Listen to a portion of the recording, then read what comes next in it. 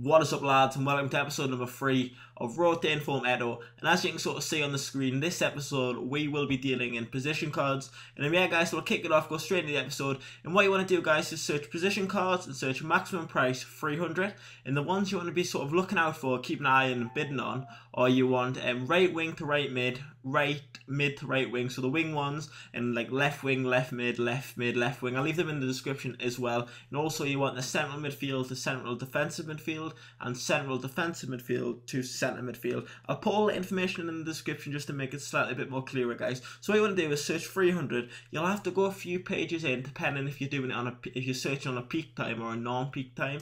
And um, if you're not sure what a peak time and a non-peak time is, a peak time is like when everyone's on, and a non-peak time is like you know middle of the night when not as many people are on. So you want to go a few pages in, guys, and what you want to do is bid 300 coins on all of the sort of the position cards what I've just said. So you want the left wing, to left mid, left mid to left wing, and right wing, right mid, right mid, right wing, centre, defensive midfield, centre mid, and vice versa.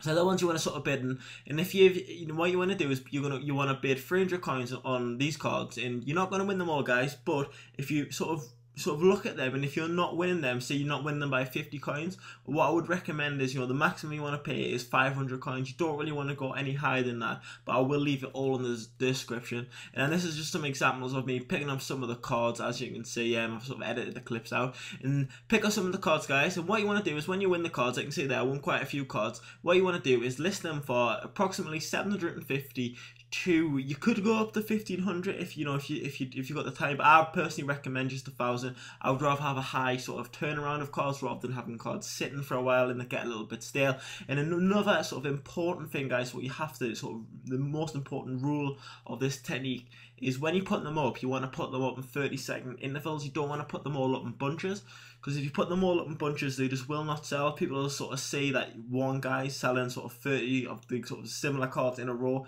and people just don't buy with you. But if you put them up in 30 second sort of the intervals, um, people don't sort of realize that there there is you know it's, it's you're, you're selling them and you you you will make profit but if you put them up sort of just one after the other you'll they'll not sell as well so that's sort of the most important thing but guys I'll leave all of this in the description just to make it you know it's a, bit, a little bit clearer and just make it so it's quick I'll put it in as simple steps in the description so you know you know the sort of the rules and stuff. And as you can see guys, I'll talk more about the episode as such. We're going along quite nicely. the end of the episode we do actually go over 100k, which is a little bit of a spoiler.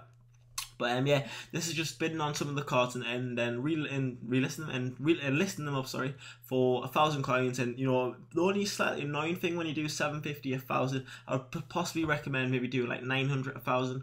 But is if they just go for 750 it's quite frustrating but that's that's the sort of the the way that's the sort of the chance you take i suppose. But yeah guys this is you know a really good method. You can make you know up to 300 to a thousand coins per card depending on how much you pick them up for and how much you sell them for. So it's a really good method guys. It's quite a high turnaround on cards as well. And um, it's, it's, i really recommend it. You know if you've got a good amount of coins or, or not so many coins you know this method's perfect for you know either either way. If you've got little coins or loads of coins you can use this technique. And if you've got any sort of questions questions or queries on the technique, leave a comment I will get back to you. Or alternatively, a quicker way is to send me a message on YouTube, then I can so I'll get back to you straight away. Because sometimes when people leave comments, it's hard to sort of track back to them if you're watching this video at a later date. There's listen some more um, cards. I picked up more than what I could sort of sell in my trade pile, which is slightly stupid of me, but that's sort of the, the way I play the game. I live dangerously. But yeah, and there's just list some more cards. So the, the cards you want to look out for, guys, is center, central defensive midfield to centre mid, centre mid to central defensive midfield, right wing to right midfield, and vice versa, and left mid to left wing, left wing to left mid. So they're the ones you want to look for. And there's the end of the episode, guys. It was, you know, going along quite nicely. In the episode, we made a profit of 20,000 coins, which is, you know, it's a nice amount of profit. And this only took me a couple of hours. We're not even that, to be honest. It took me about two hours, three hours time to edit it all down. So it's a really good technique, guys. Got any queries, leave a comment. I will get back to you. Um, yeah, perfect technique for anyone with a lot of coins or not many coins, and you can make, you know, you make if you do this over a, a couple of weeks, you'll make a substantial amount of coins. So yeah, guys, if you enjoyed the episode, leave a like. Twitter will be in the Twitter will be in the description. And uh, anything else, and yeah, send me a message, and I will. I'll try my best to get back to everyone. So yeah, guys, peace.